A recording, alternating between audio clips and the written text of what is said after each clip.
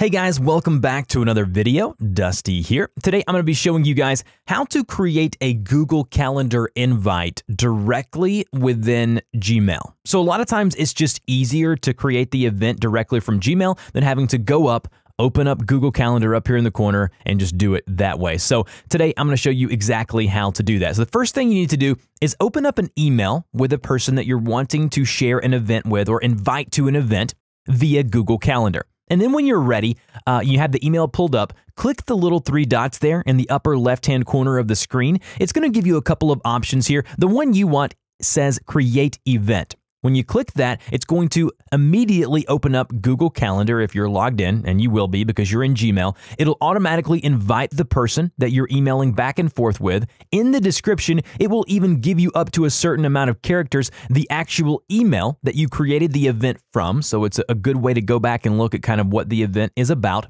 And then you can go ahead and start creating that event directly within Google Calendar. And then when you're ready, you just click save after you've added a time, you've added a date, and you can even invite more people by going here to the add guest option and just adding more people as you normally would within Google Calendar. So again, remember, in Gmail, open the email you want with the person you want to invite, click the three dots, go to create event, automatically it opens up Google Calendar and you are good to go. If you have any questions about Google Calendar, I do have a full-fledged overview tutorial. I'll link that in the description below. But I did get this question a good bit from that video, and so I wanted to show you guys how to do it. Thank you. Don't forget to like, share, and subscribe if you haven't already, and I will see you guys in the next video.